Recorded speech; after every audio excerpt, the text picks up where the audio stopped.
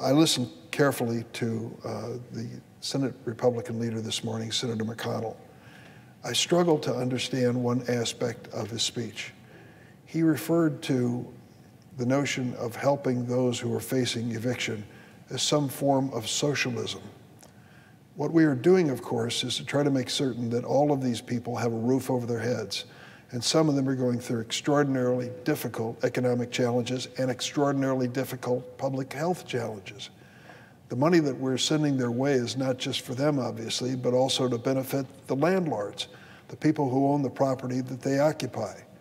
Now, that is not unusual for this Congress in the midst of this pandemic to step up and, small, and help small businesses like landlords uh, uh, who are trying to pay their mortgages during this difficult time when they have tenants who are going through economic distress.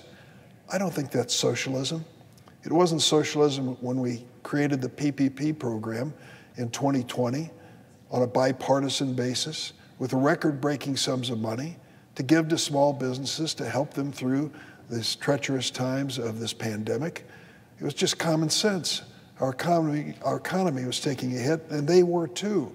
We wanted the day to come when we could deal with this pandemic effectively and also that they could return to their businesses. Was that socialism?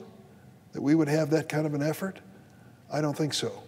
And as a matter of fact, when it came to passing that legislation, it was bipartisan and virtually unanimous. President Trump supporting it as well as Speaker Pelosi when it all came to pass. I mean, it's an indication of bridging the vast political differences in this country when an emergency demanded it. I don't think that's socialism.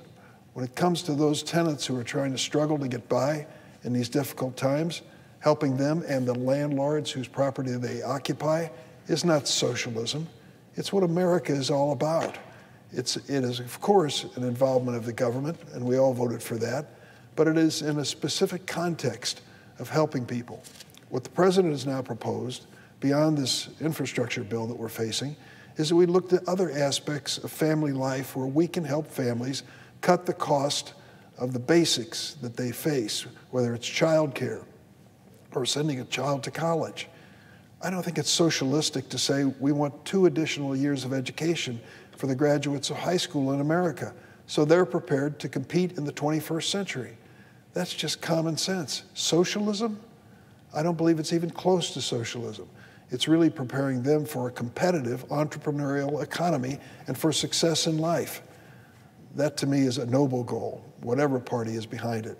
And when it comes to the debt ceiling of this country, I just hope we can find a way to deal with this responsibly. It has always been a political football, depending on which party was in power.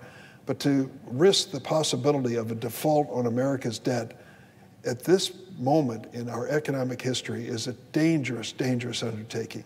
We need to do the right thing. We have to concede the obvious. Uh, certainly, the previous President Trump didn't win any accolades for fiscal conservatism. Uh, and we have to come together to recognize whoever the president may be. The important thing is that this nation move forward, move forward toward cures for the illnesses that we face, but also to an economy that is expanding. Mr. President, I yield the floor.